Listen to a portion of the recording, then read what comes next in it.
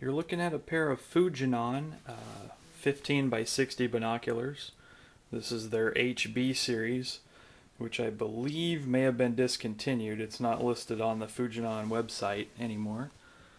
Uh, I was lucky enough to get the use of these during my 2009 whitetail hunt. a friend of mine let me borrow these. Just doing a quick video here let you guys see the kind of gear that uh, people use in southern Arizona for a Coues whitetail hunt. Uh, these binoculars have rubberized caps on the front that come off.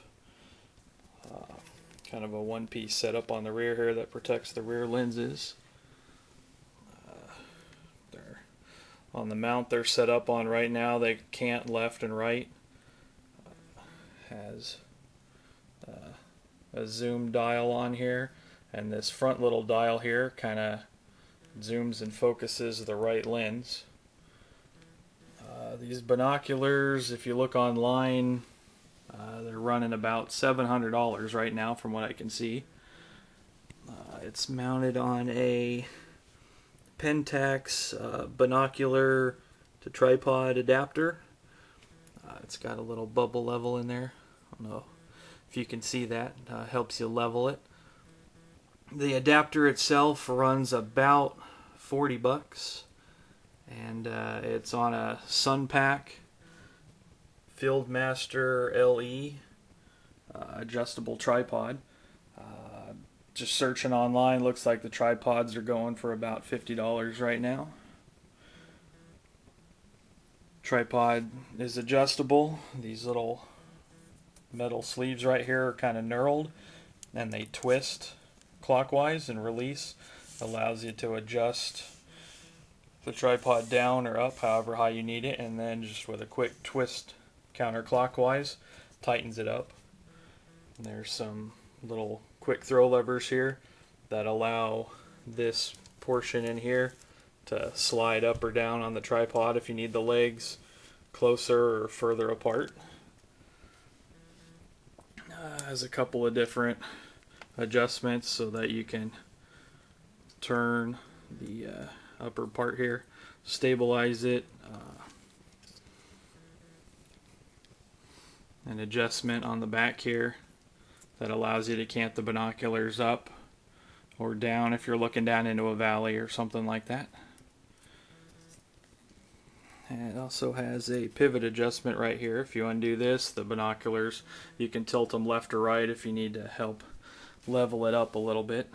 There's actually also a little bubble level on the top of the tripod itself if you need to level that up. Uh, it allows you to do that. Also has some adjustment knobs down in there that allow you to raise or lower the binoculars however high you need to, to adjust them there.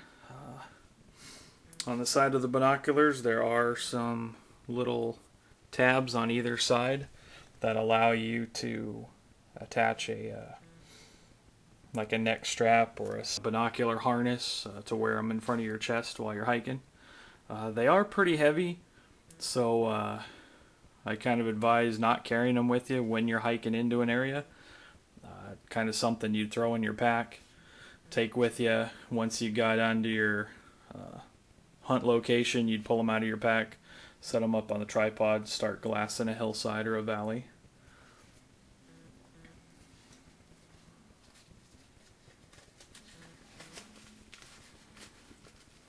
For those of you that might not be able to tell, they're a real dark kind of olive drab color uh, with black eyepieces and uh, knobs on there.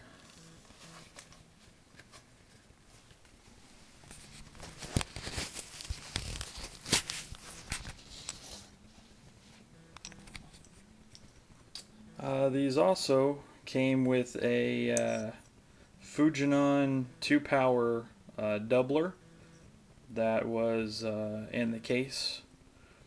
Has the same kind of little rubber eyepiece that's on the back. Uh, allows you to double the 15 power magnification of these binoculars and turn them into a uh, 30 power.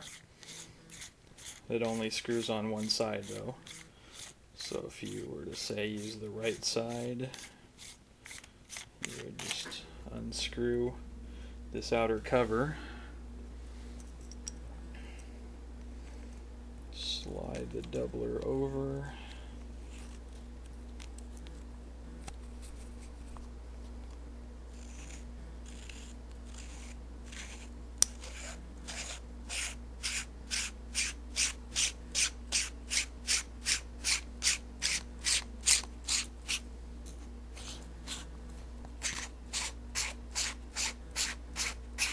Takes a little bit of time, there's a lot of threads there.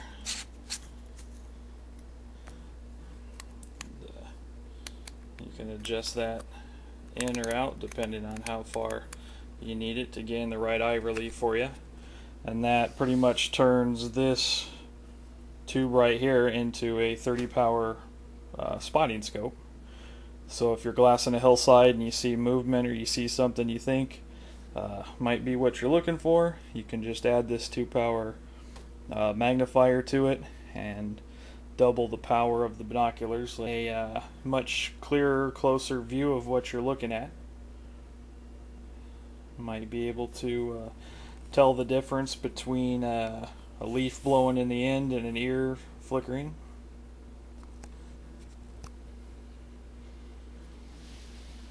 The 2 power magnifier uh, was just in a little kind of thin leather pouch with a little drawstring on it uh, with a cord lock. It says Fujinon on the bag. And the main pouch that these binoculars were in when they were uh, lent to me is kind of a forest green nylon with a black padded interior. Uh, the binoculars just slide in here, helps protect them. There's an outer accessory pocket for some lens cleaning cloths, little straps that attach to the side. Little carry strap is in there right now. It's got a lot of little polymer triangular attachments on it. You could strap this to a backpack, uh, lock carabiners in there and attach it if you needed to. Or you could just take a shoulder strap and click it into both sides and wear it over your shoulder like a little camera bag if you needed to. Really helped out on my whitetail hunt and uh, definitely have to look into getting a set of quality optics pretty similar to this.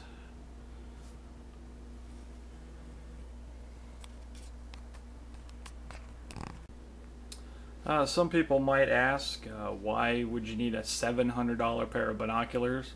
Uh, why can't I just go down and buy a cheap set of Bushnells for 30 bucks? Won't they do the same job?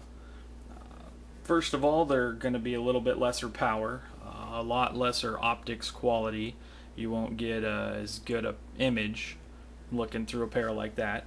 And whitetail hunting in southern Arizona is all about having a good crystal clear quality uh, set of optics. Uh, you're glassing a lot of hillside all day. Uh, I mean, the difference between a poor quality optic and a, a good high dollar set of binoculars could uh, make or break your deer hunt.